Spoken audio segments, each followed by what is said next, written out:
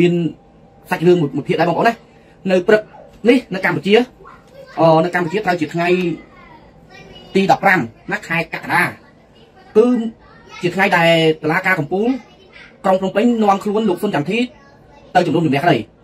ហើយបងប្អូនជនរួមជាតិយើងឃើញថារឿងបញ្ហារបបហ៊ុនសែនធ្វើទុកបុកម្នេញអ្នកប្រជាធិបតេយ្យណាគឺវាជារឿង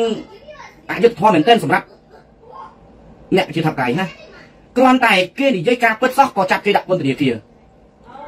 គ្រាន់តែគេនិយាយពីបញ្ហាសង្គមក៏មិនបានយើងជាក់ស្ដែងយើងឃើញក្រោមរបបរបស់ហ៊ុនសែននេះបងប្អូនជនជាតិហើយថ្ងៃនេះខ្ញុំសង្ឃឹមថាតឡាការក្រុងភ្នំពេញណាតឡាការកំពូលនឹងផ្ដល់សិទ្ធឲ្យលោកសុនចន្ទធីបាននៅក្រៅឃុំណាហើយខ្ញុំសង្ឃឹមថាចឹងចោះប៉ុន្តែតែក្តីសង្ឃឹមនេះគឺវាដូចថាយើងពិបាកបន្តិចពិបាកត្រង់ថា បើសុនចន្ទធីគាត់នៅក្រៅឃុំបានលុះត្រាតែគាត់នឹងធ្វើតាមសេនានយោបាយរបស់បកប្រជាជនណាយើងមើលភាគច្រើនអ្នកដែលបានជាប់តឡាការហើយជាប់ពន្ធនាគារបានចេញទៅក្រៅឃុំណាគឺដល់លុះត្រាអ្នកនឹងធ្វើតាមសេនានយោបាយរបស់បកប្រជាជនបើមិនធ្វើតាមទេគឺគេមិនដោះលែងទេពុកម៉ែបងប្អូនជនជាតិឥឡូវមកលោកសុនចន្ទធីនេះយើងចាំមើលបងប្អូនតើតឡាការកម្ពុជានឹងអនុញ្ញាតឲ្យលោកសុនចន្ទធីនៅក្រៅឃុំដែរទេយើងរងចាំមើល ហើយថ្ងៃនេះក៏មានការចូលរួមពីសមាជិកសមាជិកនៃគណៈបកកម្លាំងជាតិគាត់ឡើងមកមកមកមកគ្រប់គ្រងនិងលើកទឹកចិត្តដល់លោកសុនចន្ទធីដែលជាប្រធានគណៈបកកម្លាំងជាតិហើយខ្ញុំសង្ឃឹមថាបងប្អូននឹងមកបានចូលរួមមួយច្រើនកកកណាបងប្អូនណាយើងផ្ដល់កម្លាំងចិត្តណាដល់អ្នកដែលហ៊ានលះបង់សិទ្ធិសេរីភាពជាប់ពន្ធនាគារណាមិនថាលោកសុនចន្ទធីលោកកកកំភាលោកតូចខ្លាំងលោកអ៊ុំរយៈរតលោកគៀវិសាអែដំថៃសិដ្ឋាតូចខ្លាំងខឿនវិរៈណាសីសធារីនិងយុវជនមេតាធម្មជាតិកៅស្រ័យហ្នឹងសូមបងប្អូនចូលរួម ជួយលើកទឹកចិត្តនិងគ្រប់គ្រងដល់គាត់ផងណាដើម្បីផ្ដល់ជាកម្លាំងចិត្តទៅដល់ពួកគាត់ព្រោះអីពួកគាត់គឺបានលះបង់ណាលះបង់សិទ្ធិសេរីភាពទាំងអស់ដើម្បីរកយុត្តិធម៌ជូនដល់ជនរងគ្រោះហើយនិយាយពីបញ្ហាសង្គមយើងឥឡូវបងប្អូនជនជាតិបើយើងខ្លាចយើងអត់ហ៊ាននិយាយការពិតគេនឹងធ្វើដាក់យើងដោយការសម័យពលពតអញ្ចឹងបងប្អូនណាយើងមើលចាក់ស្ដាយសម័យពលពតដោយសារយើងមិនហ៊ាននិយាយស្ដីយើងមិនហ៊ានហាមាត់ខ្លាចគេយកសម្លាប់ឃើញទេអស់ជាង3លាននាក់ឥឡូវមកសម័យនេះយើងប្រទេសកម្ពុជាយើង គឺប្រកាន់របបប្រជាធិបតេយ្យបើប្រទេសកាន់របបប្រជាធិបតេយ្យយើងត្រូវតែហ៊ាននិយាយការពិតយើងមិនត្រូវខ្លាចទេទោះបីគេគម្រាមយ៉ាងណាក៏ដោយណាបើយើងខ្លាចការគម្រាមរបស់គេគឺគេនឹងសម្លាប់យើងដូចរបប3ឆ្នាំ8ខែរបស់ពលពតអញ្ចឹងអញ្ចឹងត្រង់ចំណុចហ្នឹងបងប្អូនវិភាគមើលទៅបើបងប្អូនសង្ងំនៅស្ងៀមសង្ងំយកសុកគឺបញ្ហាអស់ហ្នឹងនឹងធ្លាក់មកលើក្រុមគ្រួសារបងប្អូនមិនខុសពីសម្ដីរបស់លោកបណ្ឌិតកែមលៃទេគាត់បានមានប្រសាសន៍ថាទោះបីយើងមិនធ្វើអ្វីសោះផលប៉ះពាល់ក៏គង់នឹងធ្លាក់មកលើយើងដែរឥឡូវជាក់ស្ដែងឃើញបងប្អូន ផលប៉ះពាល់ធ្លាក់មកលើបងប្អូនបរាបរាដូចជាបញ្ហាគ្រឿងញៀនបញ្ហាចោលឆក់ចោលប្លន់ណាបញ្ហាវិបត្តិសេដ្ឋកិច្ចដាំក្បាលចុះបងប្អូនទៅធ្វើចំណាក់ស្រុកអត់លុយបង់ធនាគារអានោះស្រាប់តែជាបញ្ហាធ្លាក់មកបងប្អូនណាឥឡូវដូចរឿងបញ្ហាករណីអុកញ៉ាស្រីស៊ីណាដែលបាញ់សម្រាប់គូស្នេហ៍ចឹងឃើញទេទោះបីគាត់បន្តវ៉ាមិនទៀមទាអ្វីដល់ក៏បញ្ហាធ្លាក់មកលើក្រុមគ្រួសារគាត់ឃើញទេគេអាងអំណាចគេអាងងារជាអុកញ៉ាឃើញទេគេមានកំភ្លើងគេទៅបាញ់បងប្អូនដែលជាពលរដ្ឋស្លូតត្រង់នោះបាទជំរាបសួរបងស្រីតាមចំណុចហ្នឹងហើយបងប្អូនវិភាគមកទៅ រស់នៅក្រោមរបបតកោហ៊ុននេះគឺវាគ្មានទេយុទ្ធធម៌វាមានតែការជិះជាន់បំពេញច្បាប់គម្រាមសំណត់ឃើញទេយើងមើលអ្នកប្រជាធិបតេយ្យសួរថាពួកគាត់ខុសអីសុនចន្ទធីខុសអីថៃសិដ្ឋាខុសអីគ្រាន់តែនិយាយការពិតហ្នឹងឥឡូវបើយើងជាមេដឹកនាំស្អាតស្អំបើគេនិយាយចឹងយើងគួរតែកែតម្រូវបើការស៊ើបអង្កេតដោយលោកសុនចន្ទធីបាននិយាយពីរឿងការចែកបានក្រីក្រណាវាមានអំពើពុករលួយយើងគួរតែនេះ គួរតែស្រាវជ្រាវរកអមន្ត្រីណាដែលប្រព្រឹត្តអំពើពុករលួយមិនមែនគ្រាន់តែគេនិយាយហើយយើងទៅចាប់គេទេអានោះមិនមែនជាប្រទេសកាន់របបជាធិបតេយ្យទេគឺជាប្រទេសកាន់របបកុម្មុយនីសមានតែពួកកុម្មុយនីសទេណាបងប្អូនជនជាតិដែលតែតែប្រើកូននយោបាយនិយាយមិនបានចាក់ដាក់គុកនិយាយមិនបានយកទៅសម្លាប់ដូចថ្មីថ្មីនៅកន្លែងខាងជើងចឹងឃើញទេនៅកន្លែងខាងជើងបានសម្លាប់និស្សិតស្រីដូចជា30នាក់ជាងគ្រាន់តែមើលភាពយន្តកន្លែងសោះឃើញទេ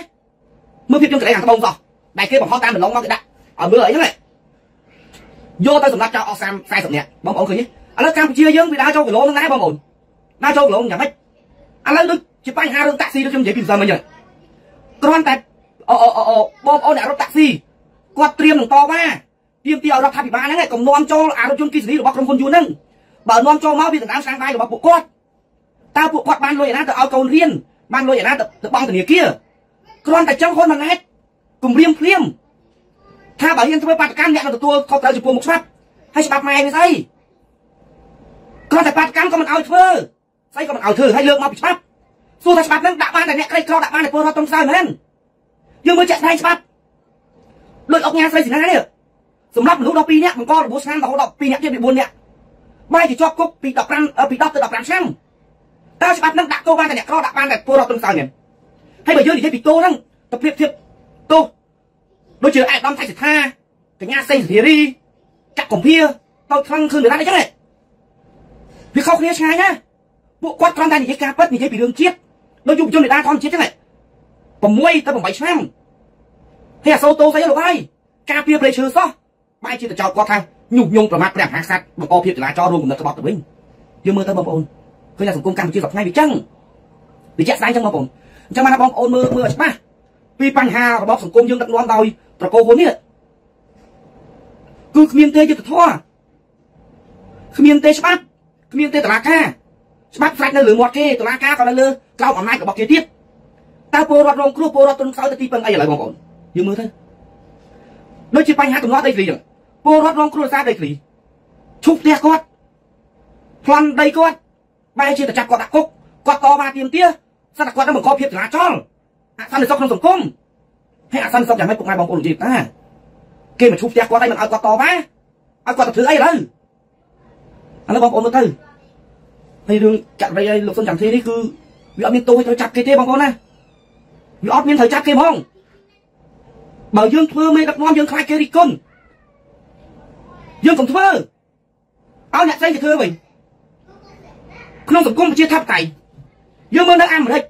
នៅបារាំងនៅជប៉ុននៅកាណាដាអូស្ត្រាលីអង់គ្លេសអីសំបីតែថៃហ្នឹងគេមានសិទ្ធិរិះគន់មេដឹកនាំមិនមែនដូចកម្ពុជាយើងរិះគន់មិនបានចាប់ដាក់គុកហើយឲ្យគេអរគុណសន្តិភាពទៀតហើយពីមួយថ្ងៃទៅមួយថ្ងៃគិតតែបង្កើតច្បាប់ច្បាប់ចាប់ចងតែពលរដ្ឋខ្លួនឯងច្បាប់គិតសង្កត់តែពលរដ្ឋស្លូតត្រង់ឥឡូវដែលបង្កើតច្បាប់នឹងមួយណាដែលចំណេញដល់ពលរដ្ឋឥឡូវបងប្អូនមើលច្បាប់អីទៅនិយាយពីរឿងព្រំដែនក៏មិនបាន និយាយពីរឿងការបាត់បង់ទឹកដីក៏មិនបាននិយាយរឿងប្រៃសាំងចុះឡើងថ្លៃក៏មិនបាននិយាយរឿងក្រៅរបស់ហ៊ុនសែននេះនិយាយស្អីក៏មិនបានដែរហើយបែរជាទៅអួតទៅកម្មនៅលើឆាកអន្តរជាតិថាខ្លួនដឹកនាំគ្រប់សិទ្ធិមនុស្សប្រទេសកម្ពុជាមានលទ្ធិជាតាប់តៃល្អណាស់ល្អមែនកម្ពុជាសប្តាហ៍ថ្ងៃល្អចាប់តែអ្នកនេះគុណដាក់គុកចាត់តែអ្នកការពារផលប្រយោជន៍ជាតិដាក់គុកតែបើអ្នកបំផ្លាញជាតិណាអាអ្នកគ្រប់គ្រង7មករាគ្រប់គ្រងលើជើងខ្លួនបាយជាយើងទៅលើកង្កើងវិញនេះគឺជា អូអូអូបញ្ហាក្នុងសង្គមយើងក្រោយការដឹកនាំរបស់របបអាយ៉ងយួនបងប្អូនជាក់ស្ដែងបងប្អូនណាហើយបងប្អូនមើលទៅក្រោមចំណុចហ្នឹងហើយខ្ញុំសូមឲ្យថ្នាក់ដឹកនាំនៃគណៈបកកម្លាំងជាតិអស់គ្រប់ដំណាក់ថ្នាក់អស់សូមឲ្យមានមានគោលចំហររឹងមាំណាបងប្អូនទោះបីថ្ងៃហ្នឹងគេចាប់លោកសុនចាំធីមានពិតប៉ុន្តែយើងនៅមានសុនចាំធីជាច្រើនរូបទៀតរាប់រយរាប់ពាន់អ្នកដូចលោកបណ្ឌិតកែមលីហ្នឹងគេអាចសម្រាប់បណ្ឌិតកែមលីបានមែនប៉ុន្តែគេមិនអាចសម្រាប់ឆន្ទៈពលរដ្ឋខ្មែរក្នុងការគ្រប់គ្រងបណ្ឌិតកែមលីទេវាជាក់ស្ដែងចឹងបងប្អូន ឥឡូវខ្ញុំសូមឲ្យចូលប្រធានបទតែម្ដងបងប្អូនជុំជាតិប្រធានបទខ្ញុំដាក់ថ្ងៃនេះបងប្អូនឃើញទេហើយខ្ញុំមានសារសម្លេងអឺដកស្រង់ពីវិទ្យុអាស៊ីសេរីសូមបើកឲ្យបងប្អូនស្ដាប់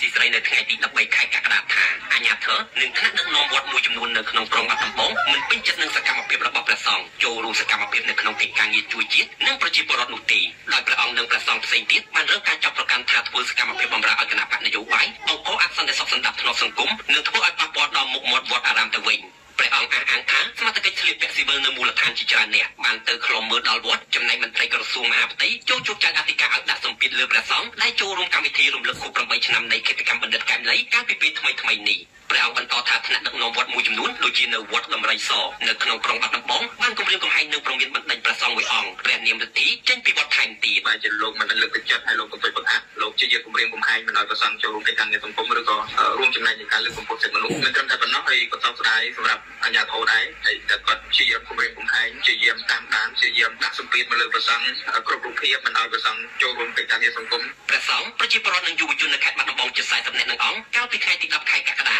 បានធ្វើធម្មយាត្រាអប់រំសិល5ចេញពីសួនច្បារលោកសខេងចំពោះទៅកាន់វិមានឯករាជ្យដើម្បីឧទ្ទិសដល់វិញ្ញាណក្ខន្ធបណ្ឌិតកែមលីប៉ុន្តែកម្មវិធីដោយសន្តិវិធីនោះត្រូវបានអាជ្ញាធរតាមឃ្លាំមើលហើយក្រោយចប់កម្មវិធីក៏មានជនស៊ីវិលតាមដានប្រសងទៅដល់វត្តផងដែរវត្តជូអាស៊ីស្រីមិនអាចតេតើអ្នកនាំពាក្យក្រសួងធម្មការនិងសាសនាលោកសេងសុមនីនិងអភិបាលខេត្តបាត់ដំបងលោកសុកលូដើម្បីសាកសួរជុំវិញរឿងនេះបានទេនៅថ្ងៃទី13ខែកក្កដាជុំវិញរឿងនេះអនុប្រធានផ្នែកសិទ្ធិមនុស្សដីធ្លីនិងធនធានធម្មជាតិនៃសមាគមការពារសិទ្ធិមនុស្សអាត់ហុកលោកយិនមេងលីក៏សម្គាល់ថាពេលដែលព្រះអង្គចូលរួមសកម្មភាពសង្គមនោះតែងតែមានការគម្រាមកំហែងតែងតែមានការឲ្យធ្វើកិច្ចសន្យាឲ្យជប់ចូលរួមកិច្ចការសង្គមឲ្យធ្វើឲ្យព្រះអង្គមានការព្រួយបារម្ភអាហ្នឹងខ្ញុំមើលឃើញថាវាទៅជាការគម្រាមកំហែងការបាត់សិទ្ធិសេរីភាពទៅលើព្រះអង្គវិញដោយដោយប្រើប្រាស់នៅអំណាចប្រើប្រាស់នៅទូនីតិដែលអត់មានច្បាប់ចែងបាទខ្ញុំបាទចន្ទរោវុទ្ធុបាទបងប្អូនជនរួមជាតិត្រង់ចំណុចហ្នឹងខ្ញុំបានចាំសម្ដីមេចៅក្បត់ជាតិហ៊ុនសែនយ៉ាងច្បាស់បងប្អូនជនជាតិហ៊ុនសែនបាននិយាយជាសាធារណៈណាប្រាប់ពលរដ្ឋទូទាំងប្រទេសក្រៅប្រទេសថា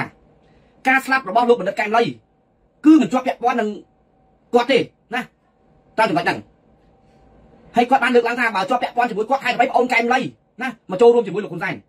ត្រង់ចំណុចហ្នឹងបងអូនមើលមិនបាច់ទៅឆ្ងល់ទេណាបើរបបហ៊ុនសែនហ្នឹងណាមិនជាប់ពាក់ព័ន្ធជាមួយនឹងការបាញ់សម្លាប់លោកបណ្ឌិតកែមលីចុះហេតុអ្វីមិនឲ្យគេប្រពរំលឹកខួបណាសូម្បីតែយុវជននិងពលរដ្ឋខ្មែរទៅគោរពវិញ្ញាណខណ្ឌរំលឹកខួបនៃការបាញ់សម្លាប់លោកបណ្ឌិតកែមលីជារៀងរាល់ឆ្នាំនៅស្រុកបូកគោហ្នឹងត្រូវបានអាជ្ញាធរក្រុងភ្នំពេញនឹងហាមឃាត់ត្រូវបានអាជ្ញាធរ ក្រុងភ្នំពេញស្លៀកពាក់ស៊ីវិលមកយកការមកតាមតផ្ទះណាឥឡូវចាក់ស្ដែងនៅបាត់ដំបងនៅវត្តដំរីសដែលគុណមួយអង្គដែលចេញពីវត្តដំរីសទៅទៅចូលរួមធម្មយាត្រាណាសិល5ដែលក្នុងវិទ្យុអសីស្រីបានលើកឡើងនោះគឺត្រូវបានជនស៊ីវិលនិងអាជ្ញាធរតាមខ្លំមើលរហូតដល់វត្តវិញហើយត្រូវបានក្រសួងធម្មការហ្នឹងណា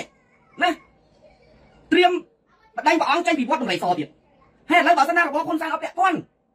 បែរសម្ដីលោកហ៊ុនសែនថាខ្លួនមិនបានពាក់ព័ន្ធក្នុងការបាញ់សម្លាប់លោកបណ្ឌិតកែមណៃទេ ហើយមានអ្នកត្រពងហ៊ុនសែនមួយចំនួនហ្នឹងចោទទៅសំរងស៊ីចោទទៅបាក់ឆាំងជាអ្នកបាញ់សម្លាប់កែមណៃចុះលោកបណ្ឌិតកែមណៃរីគុណទៅទៅអ្នកណាតាមចំណុចហ្នឹងបងប្អូនវេកញែកឲ្យច្បាស់គឺលោកបណ្ឌិតកែមណៃបានរីគុណទៅការដឹកនាំរបស់ហ៊ុនសែនឃើញទេធ្វើឲ្យក្រុមគ្រួសារបាក់ពួកហ៊ុនសែនហ្នឹងត្រូវបានប្រជាពលរដ្ឋទាំងក្នុងប្រទេសនិងក្រៅប្រទេសបានដឹងពីភាពណាគោលខៅរបស់ក្រុមគ្រួសារកោហ៊ុនហ្នឹងបានដឹងទ្រព្យសម្បត្តិគ្រួសារកោហ៊ុននឹង ពលរដ្ឋបានយល់ដឹងពីបញ្ហាព្រំដែនបានលោកបណ្ឌិតកែមគាត់បានដើរយល់ដល់ចឹងធ្វើឲ្យរបបហ៊ុនសែននឹងវាក្តៅក្រហល់ហើយធ្វើឲ្យយួននឹងខ្លាចបែកអអអបែកផែនការគ្រប់គ្រងកម្ពុជាមិនបានយួនក៏បញ្ជាអាចងរបស់ខ្លួនដែលជាហ៊ុនសែននេះឲ្យទៅសម្រាប់បណ្ឌិតកែមលីឃើញបងប្អូនជាតិការបាញ់សម្រាប់លោកបណ្ឌិតកែមលីនឹងមកដល់ពេលនេះគឺវារយៈពេល8ឆ្នាំហើយហើយឃាតករដែលក្នុងរូបដែលគេថតបានក្នុងសាមានោះនឹងជួបសម្រាប់វាខុសគ្នាឃើញបងប្អូនជាតិត្រង់ករណីហ្នឹង ហើយចុះបើអត់ជាប់ពាក់ព័ន្ធមិនគិតឲ្យគេប្រពកម្មវិធីនឹងឲ្យស្រួលបួលទៅសម្បត្តិទៅបញ្ជូនអាឯកស្ថានស៊ីវិលផងអាមានឯកស្ថានផងទៅតាមធ្វើបាបឥឡូវមិនឲ្យគេចូលរួមនៅសពបកគ្រាន់តែប្រសងចូលរួមនៅទីរួមខេត្តបាត់ដំបងជាមួយយុវជនជាមួយនឹងប្រសងដទៃទៀតត្រូវបានអាជ្ញាធរនិងក្រសួងធម្មការធ្វើទុកបុកម្នេញប្រសងព្រះអង្គទៀតនេះវាឆ្លុះបញ្ចាំងយ៉ាងច្បាស់ថាអ្នកសម្រាប់កែមលៃគឺហ៊ុនសែនណាហើយរកអង្គើឃាតកម្មទៅលើអ្នកប្រជាធិបតេយ្យទាំងអស់គឺហ៊ុនសែនណាជាអ្នកសម្រាប់ទាំងអស់ ហ៊ុនសែនគឺជាគិតកោសម្រាប់ខ្មែរឥឡូវបងប្អូនមើលបើស្នាហ៊ុនសែនមិនមែនជាគិតកោសម្រាប់ខ្មែរចុះហេតុអីហ៊ុនសែនមិនចាត់គិតកោហើយនឹងអ្នកនៅក្រៅក្នុងដែរបញ្ជាសម្រាប់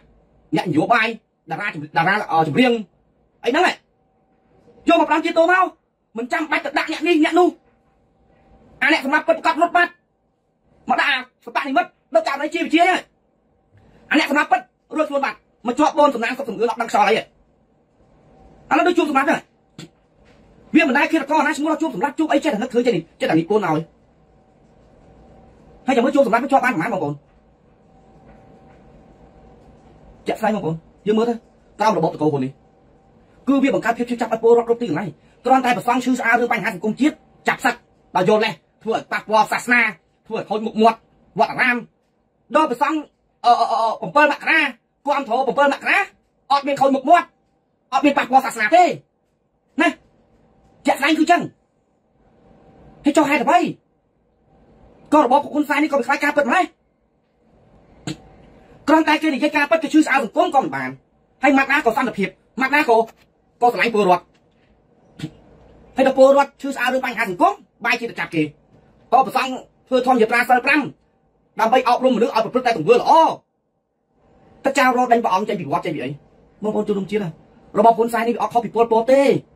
ព្រោះអីហ៊ុនសែនគឺជាមេកម្មាភិបាលខ្មែរក្រហមណាហ៊ុនសែនណាដៃគាត់ធ្លាប់លាក់ឈាមធ្លាប់សម្រាប់មនុស្សតាំងពីសម័យខ្មែរក្រហមមកបងប្អូនដល់ចឹងគាត់មិនបោះបង់អាផ្នត់កំណត់គាត់ហ្នឹងដែលធ្លាប់សម្រាប់គេចោលទេអាហ្នឹងមកខ្ញុំប្រៀបធៀបទៅជាសត្វណាបងប្អូនជិតឥឡូវបងប្អូនចិញ្ចឹមសត្វឆ្កែបើឆ្កែនឹងធ្លាប់ខំមនុស្សឆ្កែនឹងធ្លាប់ខំមន់ណាគឺវានៅតែបន្តខំណាបងប្អូនជិតឥឡូវបងប្អូនសាមជឿបងប្អូនដែលអ្នកចិញ្ចឹមឆ្កែ បងប្អូនមើលទៅសត្វដែលស៊ីសាច់ជាអាហារគឺសត្វនោះជាកាយសត្វស្កាយសាហាវដូចជាខ្លាតោឆ្កែដល់ស៊ីសាច់ជាអាហារវាសាហាវណាស់ហើយមិនខុសពីហ៊ុនសែនទេហ៊ុនសែនណាជាមនុស្សខូខើជាគៀបកដល់ចឹងអត់បោកបោកដល់កណិតគេចោលទេគេនៅតែបន្តសម្រាប់ខ្មែរហ្នឹងបន្តរហូតឃើញចាក់ស្ដាយបងប្អូនហ៊ុនសែនសម្រាប់ខ្មែរអ៊ីស្លាមការសម័យខ្មែរក្រហមមិនអស់ចិត្តឡើងមកដឹកនាំប្រទេសកាប់សម្រាប់ បង្កើតផែនការក5បង្កើតរដ្ឋប្រហារទម្លាក់សម្ដេចក្រមព្រះនរោត្តមរាមទៅនេះគឺសម្រាប់អស់ច្រើនណាស់ការសម័យរដ្ឋប្រហារហ្នឹងអ្នកស្នេហាជាតិភាគច្រើនគូត្រូវហ៊ុនសែននិងបាក់ពួកខ្លួនសម្រាប់ការប្រព័ន្ធតុលាការឥឡូវយើងមើលដូចលោកតាហៅសុកចឹងឃើញត្រូវបានហ៊ុនសែនជាអ្នកសម្លាប់ហ៎អាហ្នឹងកូនខ្មែរយើងត្រូវដឹងមិនមែនអ្នកណាសម្លាប់ទេហើយជាអ្នកណាជាអ្នកបញ្ជាគឺយួននោះចាក់នៃជាបញ្ជាឈុតពិធីសមមន្ទឿនសិតពីលកាទូសេនិច កែមណៃហ្នឹងសិតតែហ៊ុនសែននឹងបាក់ពួកខ្លួនជាអ្នកសម្លាប់ឥឡូវបើបើសិនណាមិនមែនហ៊ុនសែនជាអ្នកសម្លាប់ម្លោះពេលនេះក្រុមគ្រួសាររបស់សាច់ញាតិជនរងគ្រោះទាំងអស់គាត់បានទទួលពលឺយុទ្ធធម៌បាត់ហើយមិនមែនស្ងាត់ឈឹងទៅចោលដូចសេះទេជាក់ស្ដែងចឹងបងប្អូនហើយយើងមើលទៅស្ងាត់ឈឹងអត់បានដំណឹងអាពលឺយុទ្ធធម៌ក៏អត់ណាដោយប្រពន្ធកែមណៃហ្នឹងតែនៅដល់ក្រៅប្រទេសទៅតាមគម្រាមរកសម្រាប់គេទៀតវិញបងប្អូនរបបហ៊ុនសែនសាហាវខូខើណាពុកម៉ែបងប្អូនជាតាមនុស្សធ្លាប់សម្រាប់មនុស្ស នៅចាំវាអត់ចោលសារធាតុដេឆានសារធាតុខូខឹងទេគឺនៅតែបន្តសម្រាប់រហូតហ្នឹងបងប្អូនជនជាតិវាជាការភាពជាក់ស្ដែងបងប្អូនខ្ញុំនិយាយការពិតបងប្អូនមើលទៅហើយសូមបងប្អូនប្រជាពលរដ្ឋយើងមើលទៅណាពីការដឹកនាំរបស់ហ៊ុនសែនតើពលរដ្ឋយើងបានសុខសាន្តអត់តើយើងអាចនិយាយពីបញ្ហាសង្គមបានដែរទេយើងមើលសពថ្ងៃទៅបញ្ហាសង្គមកម្ពុជាយើងហាមាត់និយាយគុក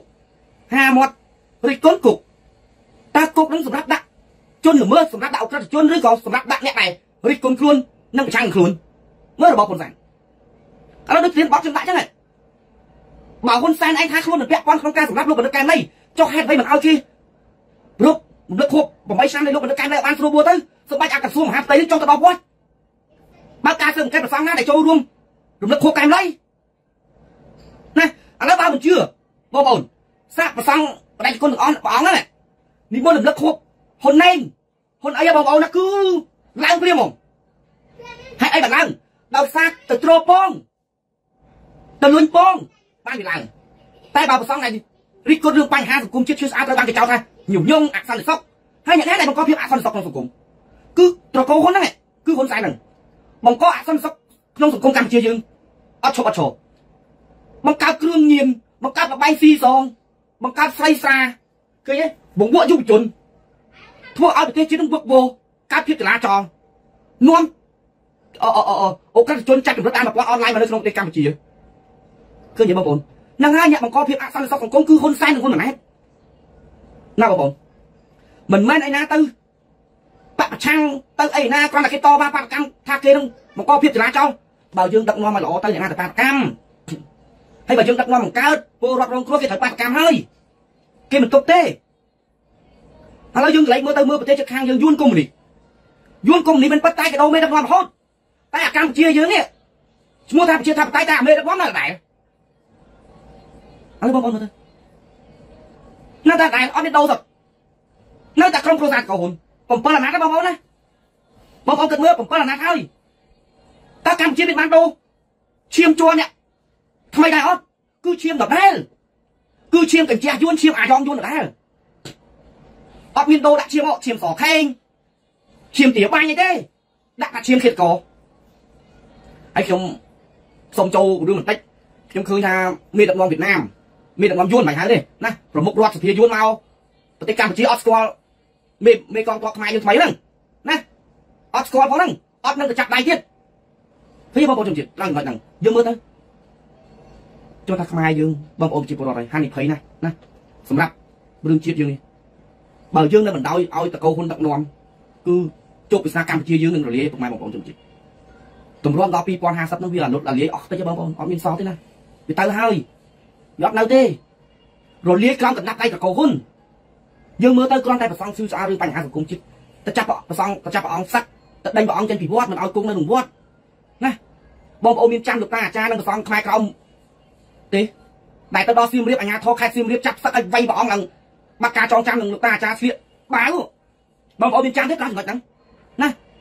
វាសាហាវខូខើជាងបងប្អូនកម្ពុជាសប្តាហ៍នេះឈ្មោះថាកម្ពុជាកម្ពុជាគ្រប់ប្រទេសប្រជាធិបតេយ្យទេប៉ុន្តែវាគុំមលីហើយវាអត់ខុសពីរបបប៉ុលពតទេរបស់ប៉ុលពតគេដាក់ឈ្មោះថាជ័យយោកម្ពុជាប្រជាធិបតេយ្យឃើញទេសម្រាប់មនុស្សអស់ជាង3លាននាក់មករបស់ហ៊ុនសែននេះជ័យយោសន្តិភាពសន្តិភាពត្រង់ណាបើពីមួយថ្ងៃទៅមួយថ្ងៃពលរដ្ឋរងគ្រោះគ្រប់ទីកន្លែងភាពអយុត្តិធម៌កើតឡើងក្នុងសង្គមកម្ពុជាទូទាំងប្រទេស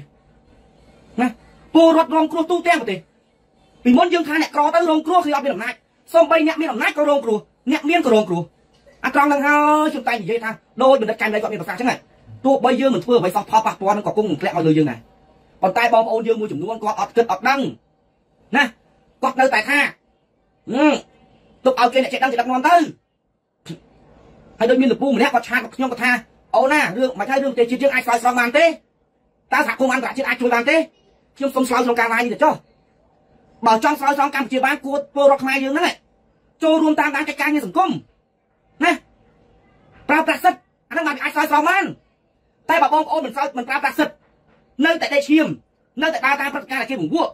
ណាហើយបងប្អូនមិនងើបក្រោកឈរតវ៉ានៅតែភ័យខ្លាចរដ្ឋតែពាក្យពេចន៍គេសម្ដេចគេសម្លប់បងប្អូននៅតែខ្លាចអន្តរជាតិណាមកជួយយើងមិនកើតទេណាអត់មានអ្នកណាមកជួយយើងបានទេបើយើងមិនជួយខ្លួនយើងផងហ្នឹងយើងគិតតែសុបាយផឹក យើងគិតតែសុបាយទទួលយកព្រឹត្តិការណ៍ដែលគេបង្កើតបើចឹងអ្នកណាមកជួយដូចចំនួនរវាងគ្រួសារមួយបាយប្រពន្ធរាល់ថ្ងៃហើយអាប្រពន្ធនឹងមិនខ្ចីទៅដល់នេះតើអ្នកណាមកជួយអ្នកចិត្តខាងគេគេមិនហ៊ានមកជួយគេថាយើងប្តីប្រពន្ធយើងវាជួបគ្នារាល់ថ្ងៃបើអាប្តីបាយចង់មកប្រពន្ធនឹងទៅតាំងផងហ្នឹងដូចកម្ពុជាយើងចឹងអ្នកណាមកជួយបាទបងមិនមែនគុំនេះទេគឺរายការត្រឹមត្រូវបងអ្នកណាមកជួយយើងកើត បើពលរដ្ឋខ្មែរម្នាក់ម្នាក់មិនក្រោបផងហ្នឹងគាត់តែពីដីលួចទៅមួកណាគ្រប់គ្នាទាំងអស់បងប្អូនឥឡូវយើងមើលការស្លាប់លោកបណ្ឌិតកែមឡើយបងប្អូនមួយប្រទេសយើងហៅថាមួយនគរចូលរួមសោកស្ដាយអាណិតសម្រាប់ទឹកភ្នែកស្ដាយលោកបណ្ឌិតកែមឡើយប៉ុន្តែដល់ថ្ងៃរំលឹកខួបអត់មានមកសោះអត់ហ៊ានមកគ្រាន់តែគេចាប់យុវជនមេដាធម្មជាតិបងប្អូនស្នាក់ឈឹង 17លាននាក់មកអត់បាន500នាក់ផងហ្នឹងមកអត់បាន200នាក់ផងហ្នឹងណាយើងមើលទៅអានោះក៏ចំណុចនេះខ្ញុំនិយាយថាស្ដាយបានត្រឹមតែស្ដាយបានត្រឹមតែសម្រាប់ទឹកភ្នែកប៉ុន្តែអត់បន្តសកម្មភាពកែមលៃមិនបន្តសកម្មភាពកែមលៃហើយដើម្បីបងប្អូនជនជាតិមកពីបងប្អូនខ្លាចម្នាក់ម្នាក់បាក់ស្បាតគេចាប់យុវជនមេដាធម្មជាតិមួយទៅភ័យក្រោយខ្លាចក្រោយបងប្អូនណា បើបងប្អូននៅបន្តភាពភ័យខ្លាចចឹងណាអត់មានអ្នកណាជួយបានទេឥឡូវដូចបញ្ហាប្រសងនៅខេត្តបៃលិនខេត្តបាត់ដំបងចឹងគេចាប់សឹកគេចាប់គេបណ្ដេញលោកចេញពីវត្តមិនឲ្យគុំឃើញទេអាហ្នឹងហើយដៃដៃគេថាងើបមួយវាយមួយងើបពីរវាយពីរហើយចុះបើយើងខ្លាចគេវាយចឹងយើងងើបទាំងអស់មើលការផ្លាស់ប្ដូររបបដាច់ការនៅបណ្ដាប្រទេសដែលនៅដូចជាតំបន់អារ៉ាប់ដូចជាលីប៊ីអេស៊ីបៃគេបដូរបានដោយសារដោយសារគេសហការគ្នាគេក្រោកឈរទើបធ្វើមានរបបដាច់ការនឹងវាដួលរលំ មិនមែនមនុស្ស100 200នាក់អត់បានទេមិនមែនមនុស្ស10 20នាក់ទៅក្រោកឈរព្រួនរំបានទេមិនមែនបពប្រឆាំងទាំងអស់នឹងទៅព្រួនរំបានទេអាស្រ័យទៅលើពលរដ្ឋខ្មែរស្វែងយល់ខ្លួនឯងហើយបើពលរដ្ឋមិនស្វែងយល់ផងបពប្រឆាំងមានកម្លាំងឯណាទៅទៅផ្លាស់ប្ដូរបានណាបងប្អូនជិតមើលទៅអញ្ចឹងបងប្អូនយើងហ្នឹងត្រូវតែចូលរួមសកម្មភាពឥឡូវបងប្អូនអត់មានថវិកាមកដូចជាអ្នកបាត់ដំបងមកធ្វើជាមួយនឹងយុវជននៅបាត់ដំបងធ្វើជាមួយនឹងបដិគុណនៅវត្តដំរីសចូលរួមជាមួយគាត់ទៅ ប៉ុន្តែបងប្អូនមិនហ៊ានទៅចូលរួមសូម្បីតែ share ក៏បងប្អូនមិនហ៊ាន share ទៀតបានត្រឹមតែដេកធ្ងោបានត្រឹមតែលូថាពិបាកខាស្រុកខ្មែរវេទនាបាក់លក់ដូរណាលូទៅអីលូបានឯមកវិញបើយើងឈឺថ្មិញយើងដេកឈឺយើងមិនផ្សេងទៅពេទ្យឲ្យគេពិនិត្យមើលឈឺរហូតដូចបញ្ហាសង្គមអញ្ចឹងយើងដឹងថាសង្គមនឹងដឹកនាំដោយត្រកូលហ៊ុនបាទជំរាបសួរបងណារ៉ូហើយយើងមិនមិននាំគ្នាក្រាបឈរ យើងមិនហ៊ាននេះកុនតើវាអាចទៅមុខទេវាអាចបដូរបានទេវាអត់ទេបើចង់ដូររបបតកោហ៊ុននឹងបានរូបការរបស់បងប្អូនជនរួមជាតិយើងនឹងសហការគ្នាមិនមែនមិនសហការឲ្យដេកខ្នោះមិនហ៊ានសៀមិនហ៊ានចូលមើលរកបញ្ហាសង្គមទេតែបើរឿងអត់ប្រយោជន៍ដូចថ្មីថ្មីនេះក្នុងបណ្ដាញសង្គម TikTok និង Facebook អារឿងស្អីគេមកតាមតានោះលេងប្តីម្នាក់ម្នាក់ចូលតាមតាចូលមើលកន្លែងចូលចិត្តណាស់ខ្មែរអើយខ្មែរ អារឿងប្តីប្រពន្ធគេលេងគ្នានឹងចូលចិត្តតាមតាម្លេះហើយចូលរឿងជាតិមិនគិតតាមបានចូលចិត្តតាមតាមរឿងអត់ប្រយោជន៍អារឿងអត់បានការដល់អត់ការងារធ្វើដល់គេឈូសផ្ទះ5ដីដល់អត់លុយបង់ធនាគារទៅធ្វើចំណាក់ស្រុកវេទនាចាំងប់បានដឹងថាអូយវេទនាណាអន្តរជាតិអត់ជួយអាមេរិកអត់ជួយអាណាមកជួយយើងអាណាមកមកអន្តរាគមយើងបើយើងមិនជួយខ្លួនយើងផងហ្នឹងបើខ្មែរខ្លួនឯងហ្នឹង វាគិតតែតាមបានអាប្តីប្រពន្ធគេឈ្លោះគ្នាតាមបានអារឿងអត់ប្រយោជន៍ share រឿងអត់ប្រយោជន៍ចូលខមមិនអារឿងអត់ប្រយោជន៍ចូលចិត្តណាស់មិនថាជួបអ្វីមិនថាជួបចាស់ឯងចូលចិត្តអារឿងតាមតាមរឿងអត់ប្រយោជន៍ណាចូលចិត្តអាមើលអារឿងគេលាក់គេ share ចេញគោលដោះចេញអីរត់ធាក់ធឹកធាក់ធឹកហ្នឹងបាទអរគុណមករោចូលចិត្តតាមតាមណាតែបើអ្នកនិយាយពីបញ្ហាសង្គមជាតិអ្នកអ្នកនិយាយពីឈឺស្អាតរឿងជាតិណាអស់លោកមិនហ៊ាន share ទេ អស់លោកខ្លាចតើមានច្បាប់ឯណាគ្រាន់តែ share ព័ត៌មានមិនបានចាត់ដាក់គុកទេបើអាមេភូមិអាមេឃុំឬសមត្ថកិច្ចនឹងមកយើងសួរវាតើមានត្រាទីប្រមាណចែងថាអ្នកដែលពលរដ្ឋខ្មែរដែល share រឿងបញ្ហាសង្គមជាតិនិយាយពីរឿងជាតិចាត់ដាក់គុកហ្នឹងក្នុងរដ្ឋធម្មនុញ្ញវាអត់មានច្បាប់ហ្នឹងទេច្បាប់ពីចេញពីមាត់ម៉ែវាអាត្រង់ហ្នឹងឯងដែលដូចដូចសម័យពលពតចឹងសម័យពលពតអត់មានច្បាប់ទេមាត់វាថាក្បត់គឺក្បត់ មាត់វាថាអត់គឺអត់មាត់វាថាសម្រាប់គឺសម្រាប់ថាអត់សម្រាប់គឺអត់សម្រាប់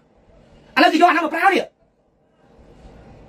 ឬមួយក៏បងប្អូនជនរួមជាតិចង់ឲ្យប្រទេសយើងវិលទៅរករបបកន្លែងពុះសាសវិញឥឡូវនេះវាកំពុងតែវិលថយក្រោយទៅបណ្ដាបណ្ដាហើយណាអស់លោកជនរួមជាតិអស់លោកល្មមដឹងខ្លួនហើយឥឡូវសួរថាអ្នកអ្នកដែលនៅក្រៅប្រទេសដែលនិយាយពីបញ្ហាសង្គមហ្នឹងពួកគាត់ចង់បានអីចង់បានឲ្យបងប្អូននៅក្នុងប្រទេសហ្នឹងឲ្យបានធូរស្រាលឲ្យបានធូរស្បើយឲ្យបានមានការងារធ្វើឲ្យប្រទេសជាតិគង់វង្ស មិនមែននិយាយចឹងហើយតើបានលុយពីអ្នកណាបានលុយពីអីទេដូចចាក់ស្ដែងលោកខ្ញុំបាននេះនិយាយពីបញ្ហាសង្គមខ្ញុំបានអីមករៀបពីអ្នកណាហើយក៏គ្មានអ្នកណាមកឲ្យខ្ញុំនិយាយដែរតែដោយសារឃើញភាពឈឺចាប់ដោយសារឃើញអាប្រទេសយើងហ្នឹងនេះវាកំពុងតែខិតចិត្តទៅដល់កន្លែងដែលតំបន់ដែលយួនត្រួតត្រាហើយប៉ុន្តែបងប្អូនអត់មានយកចិត្តទុកដាក់ចូលតាមតាមការសរសេរទោះបីខ្ញុំមិនមិនថាបងប្អូនចូលស្ដាប់ខ្ញុំទេបងប្អូនគួរតែស្ដាប់អ្នកថ្នាក់ដឹកនាំដូចជាលោកសំរងស៊ីលោកអញ្ចឹង តើគាត់និយាយមកយើងគិតមើលមើលទៅត្រូវអត់អញ្ចឹងបងប្អូនវិភាគមើលខ្លួនឯងទៅណាឥឡូវជាក់ស្ដែងដូចជារបស់ខ្ញុំដាក់នៅបាត់ដំបងឥឡូវបងប្អូនមើលទៅគ្រាន់តែប្រសងឈឺស្អាលរឿងបញ្ហាសង្គមជាតិក៏មិនបានសូម្បីសម័យពុទ្ធណាក៏ពុទ្ធឈឺស្អាលពីរឿងបញ្ហាសង្គមដែរណាទីកន្លែងណាមានការសម្លាប់មានភាពអយុត្តិធម៌អីនោះពុទ្ធតែងតែទៅប្រោះឥឡូវដូចសប្តាហ៍ប្រសងសង្គមខ្មែរយើងវាមានភាពអយុត្តិធម៌ព្រះអង្គនិមន្ត ធ្វើធម្មយត្រាប្រកាន់ជាប់សាល5ហើយបងប្អូនមិនហ៊ានចូលរួមជាមួយមានតែមនុស្សប្រហែលជាអត់ដល់20នាក់ផងអានឹងត្រង់ចំណុចហ្នឹងបានថាខ្មែរយើងខ្វះភាពសាមគ្គីដោយការខ្ញុំនៅក្នុងប្រទេសកម្ពុជាកាលពីឯកឧត្តមថៃសិដ្ឋាមិនទាន់ជាប់ពន្ធនាគារអូមិនខ្វះទេអ្នកមកថតអ្នកមកគ្រប់គ្រងដល់ពេលដែលឯកឧត្តមថៃសិដ្ឋាជាប់ពន្ធនាគារព្រឹកកុំឲ្យឃើញអាអ្នកមកថតអាអ្នកមកសេហ្វីហ្នឹងចេញមកមកគ្រប់គ្រង លើកទឹកចិត្តអត់សុតដោយក្រុមស្ត្រីថ្ងៃសុកក្រុមស្ត្រីខ្លះហានដែលតវ៉ាទៀមទារោគចិត្តធွာជូនជនរងគ្រោះចឹងអត់មានអ្នកចេញមកចូលរួមទេជិះម៉ូតូវាមកចេញទៀតហេតុអ្វីខ្មែរយើងខ្វះភាពសាមគ្គីមែនអត់ចូលរួមឲ្យប្រើពាក្យសម្ដីថាហើយមើលពួកមកចាប់ដាក់គុកហើយកុំខ្លាំងហ៊ុនសែនហ៊ុនសែនខ្លាំងណាស់ចាប់ដាក់គុកនៅតែមានអាផ្នែកចំណិតនឹងមួយទន្ទឹងថាបើខ្លាំងជាមួយហ៊ុនសែនហ៊ុនសែនចាប់ដាក់គុកដល់ហ៊ុនសែនដឹកនាំប្រទេសធ្វើឲ្យវេទនាពិបាក តាំងអូអូយនៅក្រោមរបបហ៊ុនសែនវេទនាលោកដូរមិនដាច់អីទេលោកបានអីមកវិញមើលខ្ញុំសួរមើលយើងអត់រកអាដំណោះស្រាយដែលវិបត្តិដែលយើងបាត់បង់ហ្នឹងដូចអ្នកខ្លះធ្លាប់លក់ដូរមួយថ្ងៃចំណេញ4 10 20ម៉ឺនតើឥឡូវធ្លាក់មកមួយថ្ងៃ50000 10ម៉ឺនហ្នឹងប្រាំងលេខអាចលេខនោមទៀតអត់គិតរកវិបត្តិហ្នឹងចេញមកគិតតែនៅសង្ងំដេកតែធ្ងោប្រាំចំណេញហ្នឹងខ្ញុំសូមដាក់ស្មារតីឲ្យពលរដ្ឋយើងគ្រប់គ្នាទាំងអស់ឲ្យមានភាពក្លាហានឡើងមើលដើម្បីបានលទ្ធិប្រជាធិបតេយ្យ យើងត្រូវតស៊ូមិនមែននៅសុកសុកគេផ្ដាល់ប្រជាធិបតេយ្យយើងដាក់ជើងពៀនមកឲ្យយើងត្រដៃពីរមកទៀតទេណាអត់លោកគិតពិចារណាផងអាអ្នកខ្លះគេឈូសផ្ទះយកដីហើយគេចែកឲ្យបន្តិចបន្តួចបាយជាតដឹងគុណគេវិញទៀតនេះគឺជាភាពល្ងងខ្លៅរបស់ខ្មែរយើងមួយចំនួនបងប្អូនចាំមិនថាខ្មែរយើងបើចង់រើរួចពីនិមនានិគមរបស់យួនណាក៏មានភាពក្លាហានហើយបើមិនមានភាពក្លាហានបើមិនមានភាពសាមគ្គីទេ កុំសង្ឃឹមរើរួចពីនិមនានិគមរបស់យួននោះណាឥឡូវបងប្អូនជនជាតិយុវជនយុវនារីទាំងអស់យុវតីហ្នឹងឥឡូវឧទាហរណ៍បើបងប្អូនជិះម៉ូតូទៅជួបជនរងគ្រោះដោយសារបញ្ហាដីធ្លីគាត់តបមកយើងសួរគាត់ថាពូមីងបងប្អូនតើធ្វើបាតកម្មនឹងទៀមទាអ្វីគាត់ឆ្លើយអាទៀមទាដីធ្លីគេជួបផ្ទះខ្ញុំជួបកម្មករកម្មការនេះសួរគាត់ ថាហេតុអ្វីបងប្អូនកម្មករកម្មការនេះមកតបានឬអីគាត់ឆ្លើយថារោងចក្រតកែរោងចក្របាក់ប្រាក់ខែយើងត្រូវគ្រប់គ្រងគាត់ទៀតចូលរួមជាមួយគាត់មកកុំអត់ទៅឃើញជីម៉ូតូងាកចាញ់ថ្ងៃហ្នឹងមិនចំសាច់ឈាមអស់លោកសំចំផលប៉ះពាល់អស់លោកអស់លោកមិនឈឺទេតែចំទៅអស់លោកស្រ័យហើយហើយកុំសង្ឃឹមថារស់នៅក្នុងសង្គមរបស់ហ៊ុនសែនណាអស់លោកគេផុតនោះណាគេអត់ផុតទេគ្រាន់តែវាយូរហើយនឹងឆាប់អស់លោកនឹងជួបហើយណាបងប្អូនជាប្រដ្ឋខ្មែរ គ្រាន់តែវាយូរហើយនឹងឆាប់ផលប៉ះពាល់នឹងធ្លាក់មកលើអស់លោកជាការពិតណាបងប្អូនយើងមើលអញ្ចឹងបងប្អូនជនជាតិត្រូវតែមានភាពក្លាហានឡើងធ្វើឲ្យដូចខ្មែរពីសង្គមដើមណាខ្មែរយើងពីសម័យដើមខ្លាំងណាសម័យមហានគរសម័យអង្គរដែលយើងរីកលូតលាស់ខ្លាំងមែនទែនគឺសម័យអង្គរហ្មងខ្មែរយើងជាអាណាចក្រដ៏ធំធេងទឹកដីល្វឹងល្វើយណាសបោសបាយធនធានធម្មជាតិនិយាយរួមសបោសបាយគ្រប់យ៉ាងទាំងអស់ក្រោយពីការដួលរលំសម័យអង្គរមកខ្មែរយើងមានតែភាពវឹកវរ ប្រទេសជិតខាងគេយកចិត្តអស់អាយួនយក24ខេត្តក្រុងអាស៊ាននោះយក25ខេត្តក្រុងទៀតយកឡើងអស់រលីងហើយហើយនៅខ្មែរយើងមិនសាមគ្គីគ្នាទៀតនៅតែប្រជែងគ្នានៅតែកាត់ចាក់គ្នានៅតែលៀបពណ៌គ្នានៅតែចង់បានទូនាទីចង់បានធ្វើធំជាងខ្លួនហើយខ្ញុំក៏សុំចូលបន្តិចទៅរឿងចង់ធ្វើធំជាងខ្លួនខ្ញុំឃើញអស់លោកអ្នកប្រជាធិបតេយ្យមួយចំនួនធ្វើនយោបាយបាក់ឡើងចូលចង់បានតំណែងនេះតំណែងនោះសួរថាអស់លោកធ្វើសប្តាហ៍ធ្វើដើម្បីជាតិឬក៏ធ្វើដើម្បីផលប្រយោជន៍ បើធ្វើដើម្បីជាតិអស់លោកកុំគិតទូនាទីត្រូវគិតពីជាតិតែបើធ្វើដើម្បីផលប្រយោជន៍ចូលប្រាក់ប្រជាជនទៅណាកុំកុំកុំកុំស្នេហាជាតិតែចង់បានផលប្រយោជន៍ជាតិហើយអួតថាចង់រំដោះជាតិរំដោះកាចូលទៅណាបើបាត់ឡើងចង់បានតំណែងធំ